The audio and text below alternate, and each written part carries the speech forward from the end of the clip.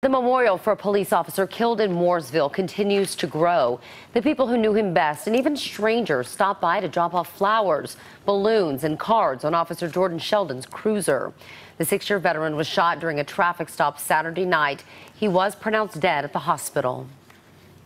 He always wanted to be a cop since day one. That's why he was a criminal justice major. And I remember when he got the job at Mooresville, he was he was so excited. He was so excited to be a cop. And then his dream was to be a canine officer. A memorial honoring Sheldon is tomorrow night on the town hall lawn.